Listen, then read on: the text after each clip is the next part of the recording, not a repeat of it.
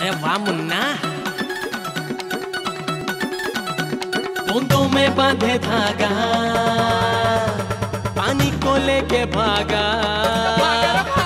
बूंदों में बांधे धागा, पानी को लेके भागा। हर चक्कर पे खन चक्कर, मुर्गा बना कबूतर। है अकड़म पकड़म, है ये तिकड़म सारे भरे इनमें रंग मचेगी उधम। नुमाइश के मुख्तलिफ़ रंग नुमाइश के मुख्तलिफ़ रंग नुमाइश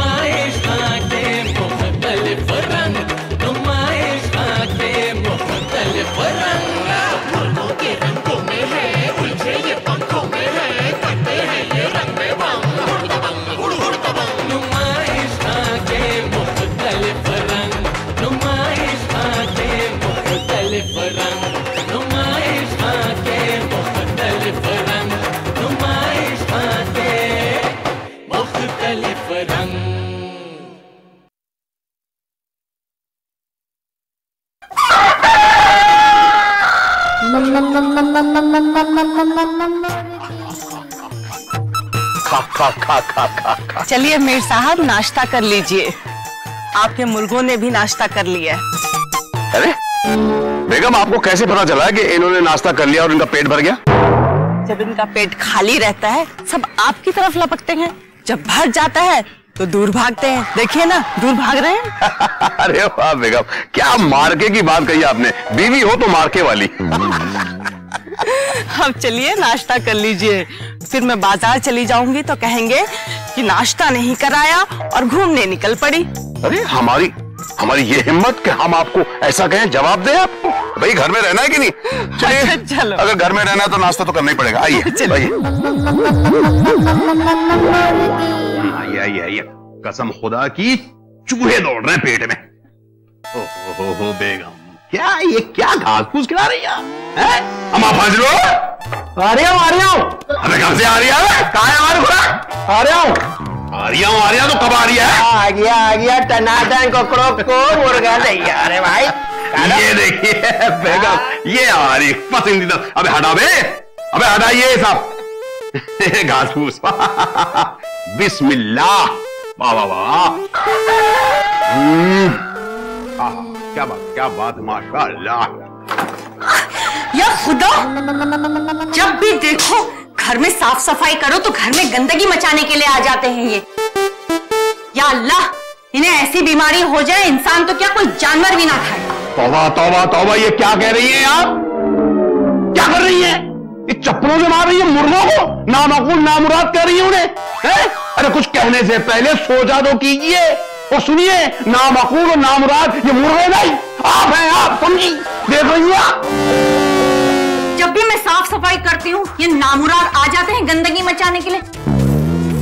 जैसे कि इन्हें पता चल जाता है कि शन्नो साफ़ सफ़ाई कर रही है। और आ जाते हैं मेरा काम बढ़ाने के लिए।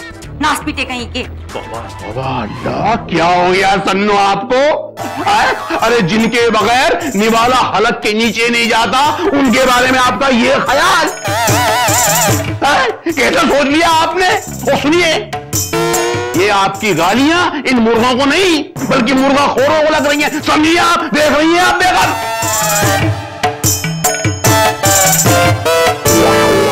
साहब आप तो जानते हैं कि मैं सारा दिन इन मुर्गों को भगाते भगाते परेशान हो जाती हूँ। और एक ये है कि घर के अंदर आके चक्कर काटते हैं। अब आप ही तो बताइए मैं कब तक बर्दाश्त करूँगी? आखिर मैं भी तो इंसान हूँ।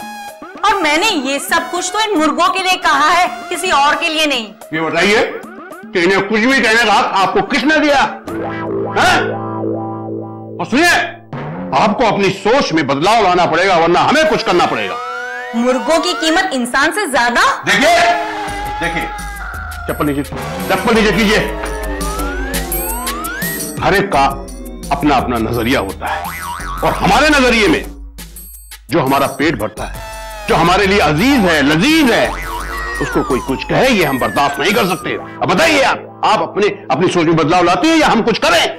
क्या करेंगे साहब? कुछ खास कुछ खास नहीं एक नई नौकरानी ढूंढेंगे हम जो हमारी तरह मुर्गे की इज़्ज़त करे मोहब्बत करे। या खुदा क्या जमाना आ गया है? अब मुर्गों की खातिर मुझ गरीब के पेट पे लात मारेंगे? क्या करें? तुम खुद ही नौकरी नहीं करना चाहती तो? मैंने ऐसा क्या कर दिया है? सिर्फ़ मुर्गों को घर के बाहर ही तो किया है। अरे शन्नो, तूने हमें कुछ कह दिया होता तो इन्हें इतना बुरा नहीं लगता। लेकिन तूने इनके मुर्गों को भला बुरा कहा है। अब तेरी खैर नहीं है। बिल्कुल ठीक कहा बेगम आपने। ये ये हमारे मुर्गों को गालियाँ देगी उन्हें चप्पल में मारेगी ना मुराद ना मकूल गई और हम इसे कुछ नहीं कह सकते। इसने ऐसी गुस्ताखी की है जो ना काबिल बर्दाश्त है। ये ना, इसने चप्पल मुर्गों को नहीं, बल्कि हमारे दस्तरखान को मारी इसलिए हम अपना दस्तरखान लेके जा रहे हैं। बेगम साहिबा हमें नहीं पता था कि ये मुर्गों से इतना प्यार करते हैं वरना हम ऐसी हरकत कभी नहीं करते। आप हमें उनसे माफ़ी दिला दीजिए आइंदा हम ऐसी गलती कभी नहीं कर करेंगे ठीक है हम बात करते हैं।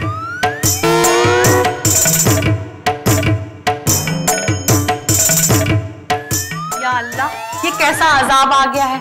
बस तू मेरी नौकरी बचा ले। मीर साहब गुस्सा थूक दो और माफ़ कर दो बेचारी को। हरगिज नहीं बेगम हरगिज नहीं।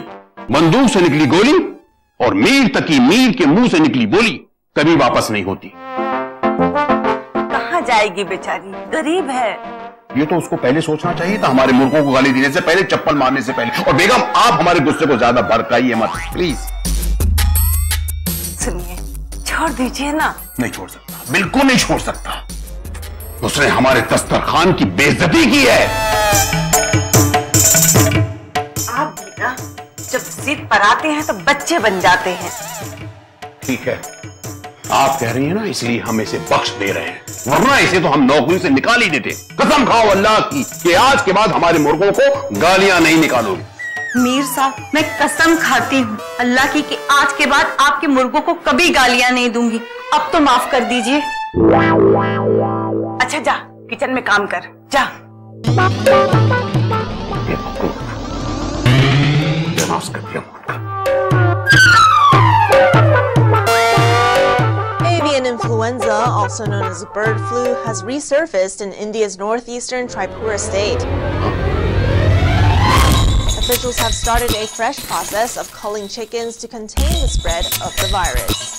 Authorities in India's northeastern Tripura state started a fresh process of culling chickens after an outbreak of avian ये कोई भयंकर बीमारी है क्या नहीं बेगम ये बीमारी नहीं बहुत बड़ी महामारी है जो मुर्गों से शुरू होती है और जो उनको खाता है वो उसमें आ जाती है ऐसे हालात में इंसान का बचना बहुत मुश्किल होता है अल्लाह मुर्गे और मुर्गियों के गोश्त से परहेज करेंगे। हम आपको मुर्गे का गोश्त कभी नहीं खाने देंगे। नहीं नहीं बेगम नहीं। अल्लाह हालात में मेरा क्या होगा? मैं तो मुर्गों के बिना रह नहीं सकता। मेरा पेट कैसे भरेगा? सुनिए सुनिए सब्र कीजिए। दुनिया में और भी लजीज चीज़ें हैं उन्हें खाइएगा। अल्लाह हिम्मत और ताकत दे गोश्त से परहेज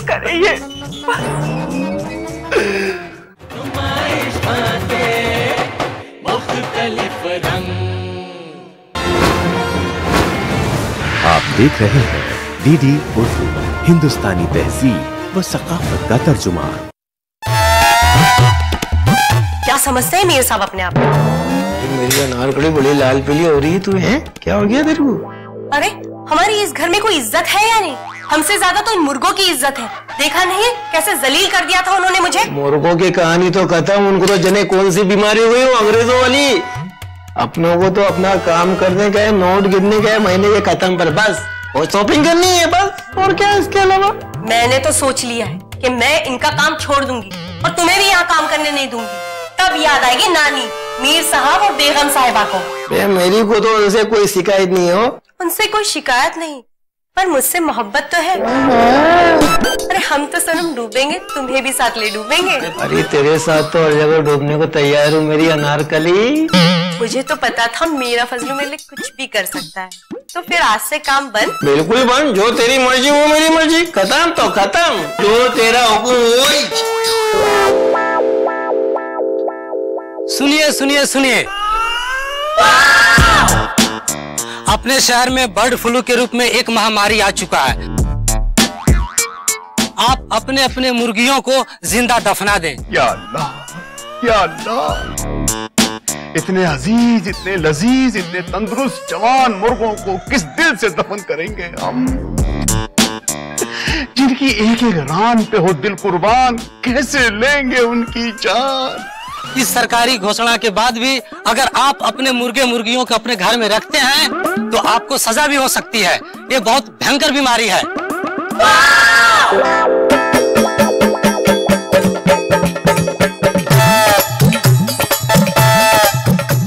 अल्लाह अल्लाह, हर तरफ़ bird flu bird flu bird flu, बस यही आवाज़ आ रही है। अल्लाह, रहम कर रहम कर इन बेचारों पर। और इनके खाने वालों पर रहम रहम कर मेरे अरे सुनना बहुत हो गया यहाँ पे बहुत काम कर लिए। तेरे को डांटा ना मेरे तो कलेजे पे लगी है ये जानवरों का तो? तेरे को डांट दिया यार। और क्या? इनके लिए तो सब कुछ इनके मुर्गे ही हैं। हम तो कुछ नहीं। अपन इंदौर। बहुत हो गया यहाँ पे इनका नाटक। और क्या? जलील होने के लिए काम करते हैं इनके हम तोबा तोबा अरे तुम लोग बैठे हुए हो? अभी तक काम शुरू नहीं किया? पता है ना कादर भाई आने वाले हैं। मेम साहब आप अपने लिए दूसरा नौकर ढूंढ लीजिए। आज से काम बंद। तौबा तौबा ये तुम लोग क्या कह रहे हो? लाहौल विला कुवत। अरे मेम साहब काम करने की तनख्वाह लेते हैं हम।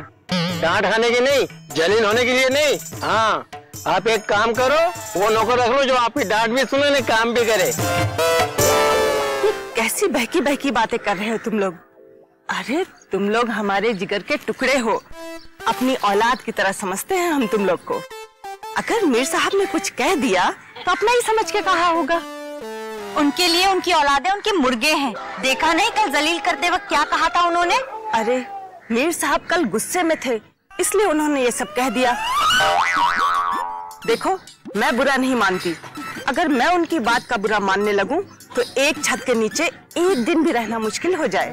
आप कह रही हो ना तो मान जाता हूँ। लेकिन आज के बाद हमारे सामने गुस्सा देखी ना तो हम चले जाएँगे इंदौर। अच्छा बाबा ठीक है। अब जाओ चल के काम करो। चल चलो। चल।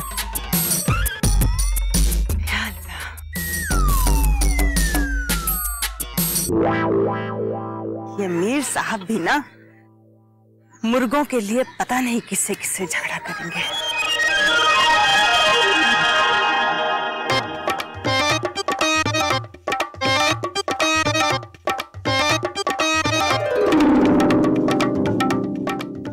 वालेकुम आपा अरे वालेकुम अस्सलाम। आज अचानक आपा की याद कैसे आ गई? बस पासी से गुजर रही थी। सोचा आपको भी सलाम करते चलूँ। हाँ आ बैठ। और बता क्या हाल चाल है? अरे क्या बताना है? जब से इन मुर्गों की बीमारी फैली हुई है मेरी जान पर तो बस आफत सी आ गई है। पहले तो मुर्गे घर में काट के बना लिया करते थे। पर अब मुझे रोज बाज़ार जाना पड़ता है इन सब्जियों के लिए। इसमें आफत कैसी सुनो सब्जियों की खरीद फरोख्त में दस बारह रुपए तो रोज के बन ही जाते होंगे तेरे। आप क्या मुझे बेईमान समझती है? अरे एक एक पैसे का हिसाब देती हूँ मैं खाला को। और वैसे भी हमारे खून में बेईमानी नहीं। अरे, शनु तू तो नाराज़ हो गई। अच्छा सुन। मैंने सुना सुबह मीर साहब ने तुझे बहुत जलील किया। अपने मुर्गों के सामने तेरी बेइज्जती की। हाँ हाँ तो मुझे भी कौन सा उनके यहाँ पे नौकरी करनी है? मैं भी उनके यहाँ से नौकरी छोड़ दूँगी। वैसे भी हम तो नवाबों के यहाँ पर जलील होके नौकरी ना करें। और ये ये तो ठहरे मीर साहब। लेकिन शन्नो मीर साहब के यहाँ नौकरी छोड़ देगी तो तू जाएगी कहाँ? और फिर आजकल? आजकल अच्छी नौकरी मिलती कहाँ है? नसीब में होगा आपा तो कहीं ना कहीं नौकरी मिल ही जाएगी। और वैसे भी अब जलील होकर वहाँ काम नहीं किया जा रहा। हो तो मैं बस बेगम साहिबा की वजह से रुकी हुई हूँ वहाँ पर। वरना कब से छोड़ जाती? अजीब लोग हैं ये। बरसों की ईमानदारी का ये सिला दिया। तेरी जरा भी कद्र नहीं इनको।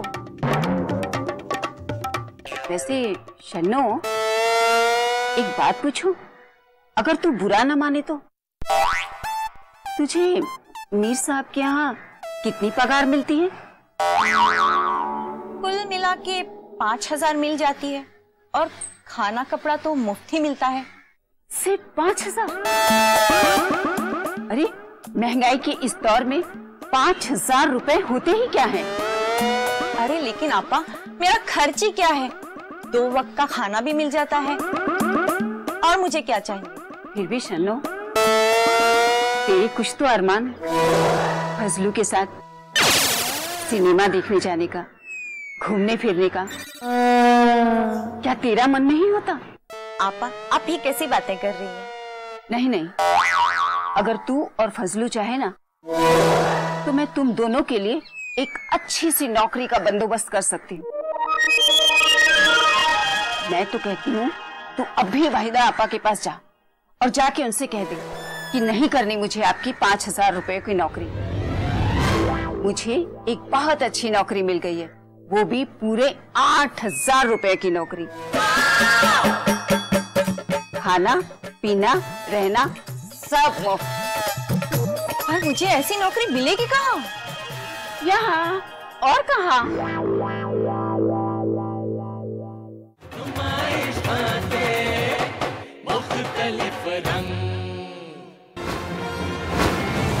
आप देख रहे हैं डीडी उर्दू हिंदुस्तानी तहजीब व सकाफत का तर्जुमा।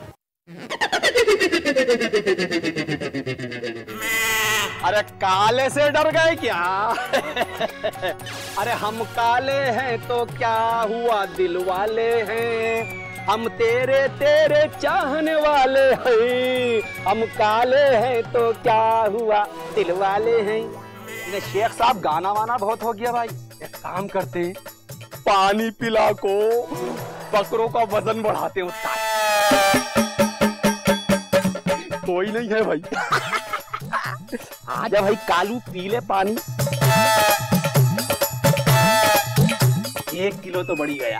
वालेकुम अस्सलाम ऐसे घबरा गया? जैसे मैंने कोई चोरी पकड़ ली तुम्हारी है इन्हें क्या चोरी? क्या बात कर रहे हैं यहाँ पे? उन्हें क्या है ना मेरे बकरों की रात से बहुत तबीयत खराब है उत्ताज उन्हें मेरे को हकीम साहब दवा दिए थे ना चूरन बना को पिला रहा हूँ उस्ताद। चूरन सब समझता हूँ चूरन। ये ज़िंदा बकरा तीन सौ रूपए किलो। बे भाई गोश्त तो बिकते हुए रहेगा तुलकर लेकिन ये बकरे का क्या मामला है? अपने को तो कुछ समझ में नहीं आ रही है। मैं समझाता हूँ आपको समझने की ज़रूरत नहीं है। होता उन्हें क्या है ना देखो भाई दुकान पे पाँच सौ साढ़े पाँच रुपए किलो बिक रहा है गोश्त बकरे का। उन्हें मैं ज़िंदा बकरा तोल को बेच रहा हूँ तो क्या परेशानी है? होता मुर्गों को मैंने देखा है तुलकर बिकते हुए बकरे का मामला अपनी खोपड़ी में नहीं आ रहा है। अरे मुर्गे से याद आया। वो आपके मीर साहब का क्या हुआ भाई? मीर साहब मेरे अल्लाह अल्लाह उनको जन्नत नसीब करे भाई। अरे क्या मनुष्य बातें कर रहे हो? तुम मारे ना तुम्हारे बकरे मेरे ज़िंदा है मेरे मीर साहब हो? अरे तो आप पे ही तो फजलू भाई धो धू करके रो रहा हो। उन्हें मैं समझा खुदा ना खास्ता उन्हें बर्ड फ्लू से निकल लिया होता एक बात बता भाई उन्हें आपकी पगार वगार तो दे दिए ना? अरे भाई बर्ड फ्लू का जमाना है। उन्हें मुरखोर आदमी किसी दिन मुरख खा को बर्ड फ्लू से निकल लिए। तो आपका क्या होगा? फ्लू से नहीं मरेंगे वो भूख से मरेंगे। चिड़चिड़े हो गए कुछ खाते पीते नहीं है। दिन भर परेशान रहते हैं मुर्गों के चक्कर में तो उनकी ज़िंदगी हराम हो गई। इन्हें पे सच्ची बोल रहा भाई उत्ताज इन्हें एक बात बोल रहा हूँ भाई। इन्हें मुरखोरों का वक्त बहुत खराब चल रहा है उत्ताज अरे वक्त से मुझे याद आया। मार्केट जाके दाना लाना मुर्गों को डालना। है तो देर हो गई ना तो सन्ना और मीर साहब में जंग शुरू हो जाएगी। हाँ। मैं तो चलता हूँ। अल्लाह हाफिज। अल्लाह हाफिज भाई अल्लाह हाफिज। फजलू भाई तो गए। या अल्लाह मियाँ बर्ड फ्लू खूब फैले। इन्हें खूब पहले भाई उत्ताज और मेरे बकरों की खूब बिक्री हो मेरा धंधा खूब चले उत्ताज बर्ड फ्लू से 175 हलाक और 300 अस्पताल में। या अल्लाह या अल्लाह इन मुर्गों को इस बीमारी से निजात दे और हमें रिजक अता फरमा।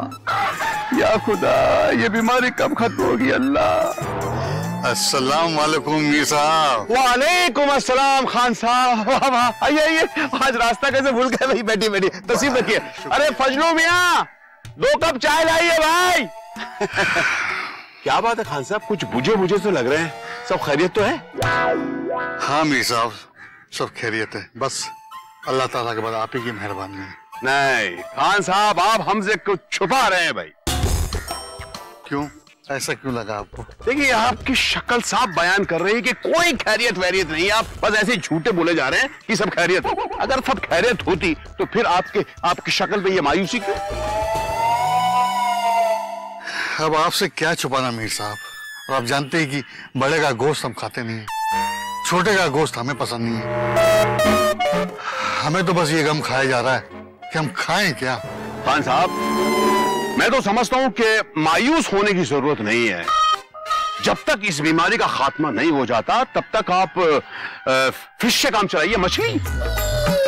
हाँ मीर साहब जो बात बटर चिकन में है जो बात तंदूरी चिकन में है मुर्ग मुसलम में है मुर्ग दो प्याजा में है वो सब मछली में कहा सौ फ़ीसदी सौ फ़ीसदी सही फरमाया खान साहब आपने कि जो बात मुर्ग में है वह और कहीं नहीं। इसी बात का तो दुख है बहुत तकलीफ़ है क्या करें?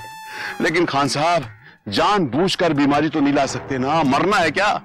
मगर अल्लाह भला करे इस बर्ड फ्लू का जिसने हमसे हमारी खुराक छीन ली। अगर मुर्गे की टांग नहीं मिलती ना तो हमारी टांगे कमज़ोर हो जाती है। अल्लाह खैर करे अभी तो टांग सलामत है ना खान साहब? अभी तो ठीक है। और मुर्गे का दिल हमारी पसंदीदा खुराक है। अल्लाह। और मुर्गे का कलेजा खाने से हमारे कलेजे में ठंडक पड़ती है। सुबह अल्लाह और मुर्गे की गर्दन चूसने से हमारी गर्दन अकड़ जाती है। माशाअल्लाह मगर कब बगत इस बर्ड फ्लू ने मुर्गा खोरी को बीमारी बना दिया? साहब आपके भी तो पाँच पाँच पोल्ट्री फार्म है हाँ? कहीं भी देखने गए उन्हें? क्या हाल है उनके? मुर्गा मुर्गियों को दफनाया कि नहीं? ये हमारे मुर्गे के कारोबार को तबाह करने की दुश्मनों की साजिश है। में बांधे धागा पानी को लेके भागा।